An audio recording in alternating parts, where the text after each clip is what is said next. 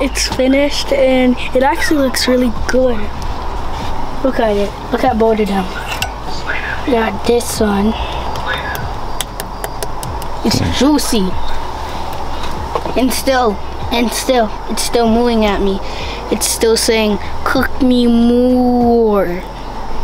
Little Chef, big vibe. So today we have a, a tomahawk. Uh, tomahawk meat. And it's a big, long French roll.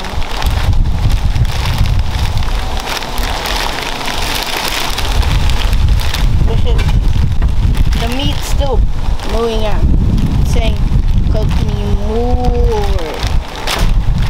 Anyways, there we go. Um, so first, we're gonna add some of our little chef seasoning. Sprinkle some of that on there. So then we're gonna add one this green seasoning. It looks like guacamole, but it's not. Put a little more on there. Little chef seasoning. And then you put this little chef not guacamole thing. And then you have to soak it for two hours. Yeah. Um, so I'm just putting the I'm putting this little chef not guacamole thing on. What's the real name for it? It's called green seasoning. Crazy Chef green seasoning. So you made it. Yep. It's Who made made with onions, peppers, garlic, Ew. pimentos. Ew. Mentos. Yeah.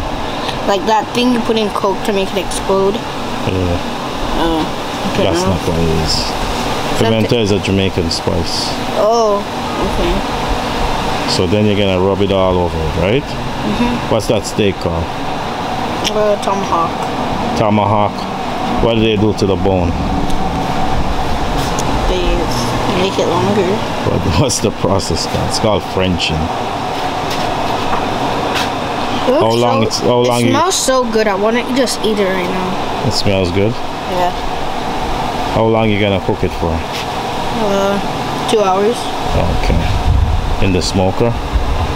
Yeah. Okay. Is it? Yeah, put the whole thing in there on the top shelf. Yeah. Oh. It's finished and it actually looks really good. Look at it. Look at both of them. Got this one. It's juicy.